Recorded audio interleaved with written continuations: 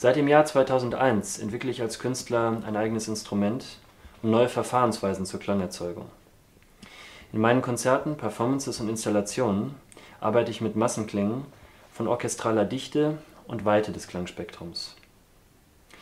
Ich erzeuge diese Klänge, indem ich ein Feld von über 30 Saiten durch Leisten aus Metall, Holz und Glas zu Schwingungen errege. Indem ich diesen Klangfluss durch meine Bewegungen mit einer Leiste auf den Saiten steuere, entstehen präzise Choreografien. Dabei spiegelt sich jede Bewegung entweder als kleine oder als dramatische Variation im Klang wider. Durch die unterschiedlichen Eigenschaften der verwendeten Materialien und Verfahrensweisen ereignen sich unvorhersehbare Klangmomente.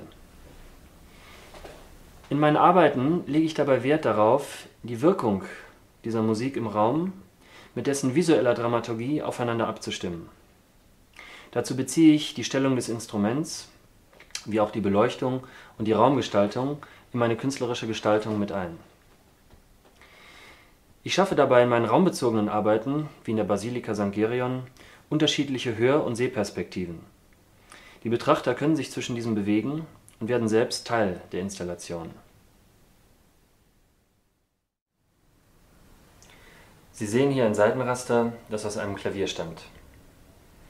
Ich habe daraus in den Jahren 2003 und 2004 Chordeograph 1 gebaut. Chordeograph nenne ich sowohl dieses Instrument als auch meine Verfahrensweise, um Klänge zu erzeugen. Diese werde ich Ihnen im Folgenden am Beispiel einer einzelnen Seite demonstrieren. Sie sehen hier eine Vorrichtung, die ich gebaut habe, um die klanglichen Möglichkeiten von Einzelseiten zu erforschen. Bei einem klassischen Saiteninstrument, wie zum Beispiel der Gitarre, wird eine Saite an einem Punkt verkürzt und dieser verkürzte Saitenteil dann an einem weiteren Punkt zum Klingen gebracht.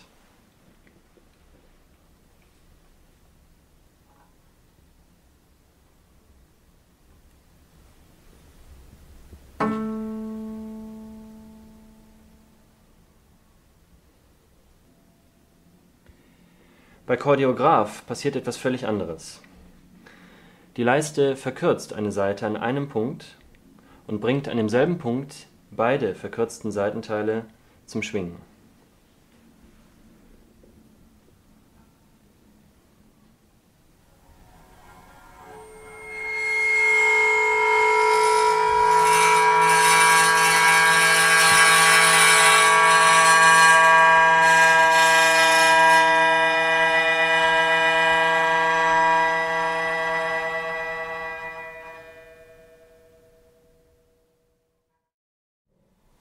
Von einer einzelnen Seite nun zu Chordeograph 1. Je nach Position der Leiste auf der Saitenebene ändern sich die Tonhöhen der Klänge. Bei unterschiedlichen Anordnungen der Saiten ändert sich ebenso der Klang. Dabei spiegelt sich bei Chordeograph die Form des Saitenrasters immer im Klang wider. Wenn ich mit der Leiste unterschiedliche Winkel auf der Saitenebene einnehme, ist es dabei möglich, die Klänge bis zu ihrer mikrotonalen Verschmelzung zusammenzuführen oder weit über die Grundstimmung zu erweitern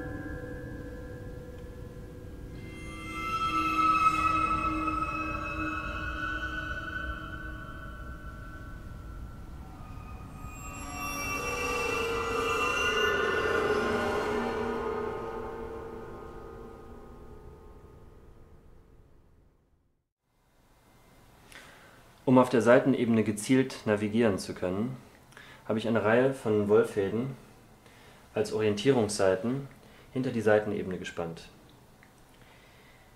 Diese werden ausgerichtet anhand von zwei Maßbändern, die neben den Saiten angebracht sind Diese Maßbänder habe ich kalibriert, basierend auf einer 120-fachen Unterteilung aller Saiten in gleiche Abstände. Dadurch ist es möglich, bestimmte Unterteilungsverhältnisse auf der Saitenebene zu fixieren. Indem ich kontinuierlich von einer Position in die nächste beim Spielen übergehe, schaffe ich nach und nach ein Feld sich verzweigender Klangbewegungen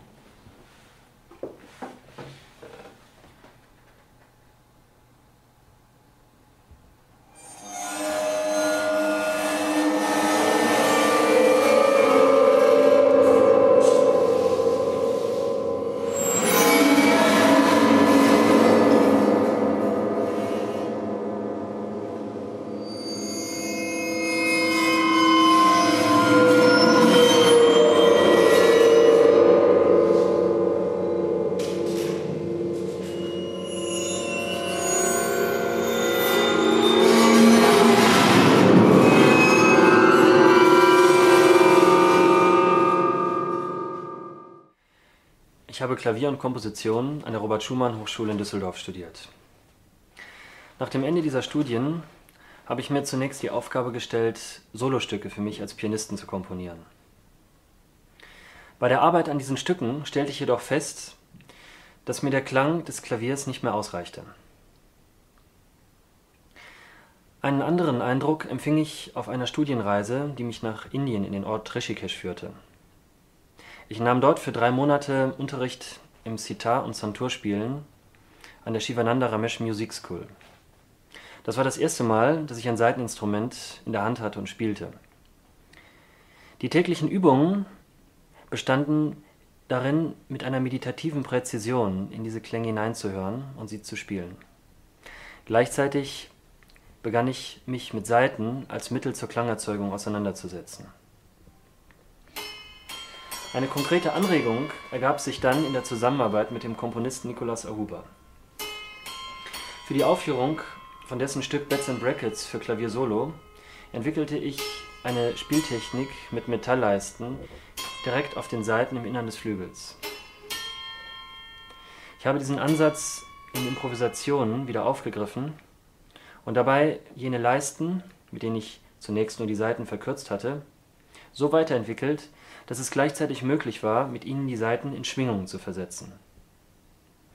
Dabei eröffneten sich völlig neue Möglichkeiten instrumentaler Klangerzeugung.